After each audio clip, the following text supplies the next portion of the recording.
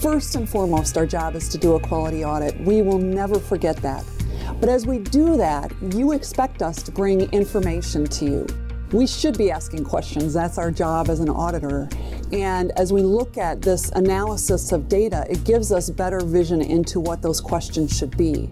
Deep dives really allow us to go into the data and understand it better, and in many cases, that could produce anomalies or outliers for us to look at that might indicate things that we've seen like fraud or unusual transactions that require additional follow-up.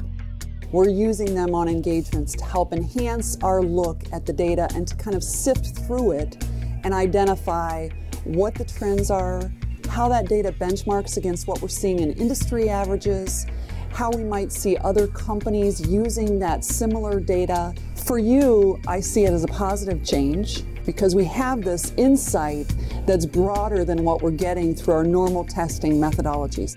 As we look together at that information, that's where the real value comes in, is in identifying those anomalies and understanding what could be trending toward risk. And really what we're trying to do is build off the investments that you've been making in technology and that we've been making in technology to make sure that we're moving to the next stage.